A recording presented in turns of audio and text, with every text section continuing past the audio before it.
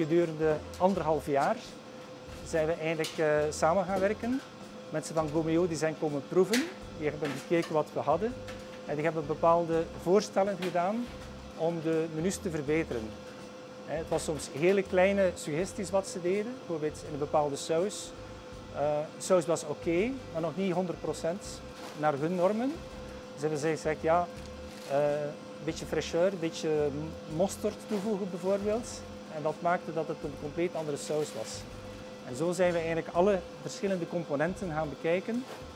En zijn we gekomen tot een verhoging van de kwaliteit van onze maaltijden.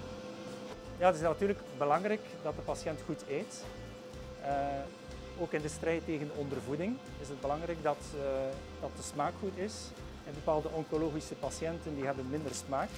Daar gaan we extra aandacht aan besteden, extra gaan kruiden bijvoorbeeld. Dus zodanig dat uh, de patiënt effectief meer eet, dat maakt deel uit van het genezingsproces.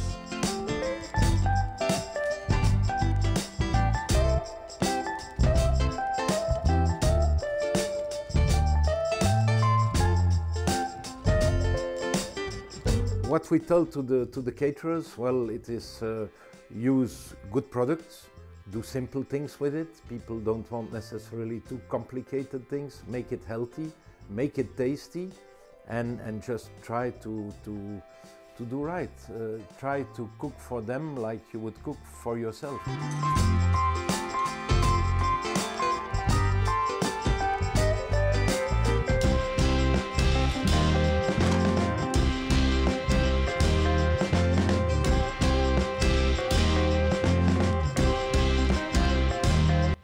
Ja, ik vind het wel belangrijk dat er uh, lekker eten is. Dat motiveert ook om uh, ja, uh, beter te worden. Het herstel is toch eenvoudiger als het eten lekker is.